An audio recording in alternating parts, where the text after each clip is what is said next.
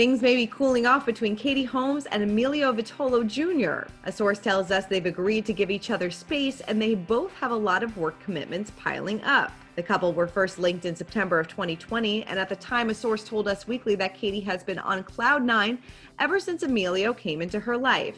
She doesn't care what people may say about her rushing into the romance.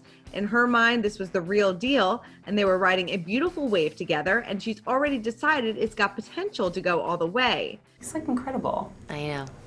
He is. You picked a good one, Keith. All right. I'm a lucky lady. Now, Katie, of course, went through a messy and public divorce from Tom Cruise and had a tumultuous on and off relationship with Jamie Foxx.